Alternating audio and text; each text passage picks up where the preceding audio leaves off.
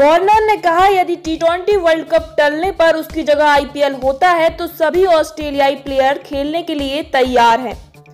ऑस्ट्रेलियाई opener David Warner ने कहा है कि यदि इस साल T twenty world cup corona के कारण टलता है, साथ ही इसकी जगह इंडियन प्रीमियम लीग होता है तो मुझे पूरा विश्वास है कि ऑस्ट्रेलिया के सभी खिलाड़ी लीग खेलेंगे।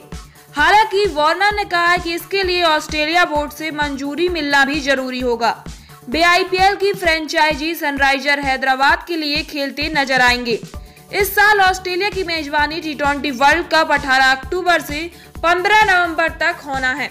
कोरोना की वजह से इसे टाला जाए या नहीं, इस पर अगले महीने आईसीसी की बैठक में फैसला किया जा सकता है।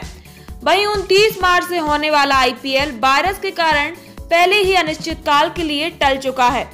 बॉर्नर ने एक इंग्लिश चैनल में कहा है कि यदि इस साल टी ट्वेंटी वर्ल्ड कप नहीं होता है और इसकी जगह आईपीएल कराया गया तो मुझे पूरा विश्वास है कि इस बात को लेकर पॉजिटिव हूँ कि जिन ऑस्ट्रेलियाई खिलाड़ियों को चुना गया है, वे इंडियन लीग में ज़रूर खेलेंगे।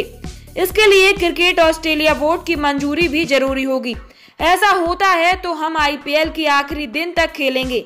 हम भी लीग में खेलना पसंद करते हैं। वार्नर ने कहा है कि टी वर्ल्ड कप के टलने को लेकर कई तरह की बातें आ रही हैं। लेकिन वर्ल्ड कप के लिए ऑस्ट्रेलिया आने वाली हर एक टीम के लिए मुश्किल चुनौती होने वाली है। इसे देखते हुए 14 दिन का क्वारंटाइन का समय तय किया गया है। साथ ही ऑस्ट्रेलिया सरकार महामारी को कंट्रोल करने और प्रतिबंध हटाने की पूरी कोशिश कर रही है। हमें अब अगले महीने आने वाले आईसीसी के फैसले का इंतज़ार है। बॉनर के 84 टेस्ट में 7,244 और 123 वनडे और पाँच रन बनाए हैं। इनके नाम 79 टी ट्वेंटी में 2,207 और आईपीएल में 126 मैच में 4,706 रन हैं।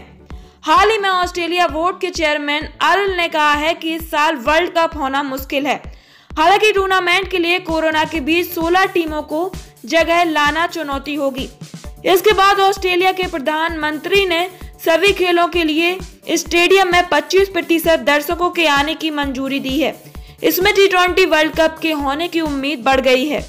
वही बीसीसीआई वर्ल्ड कप टलने की स्थिति में उसकी जगह अक्टूबर नवंबर में आईपीएल कराने पर विचार कर रहा है।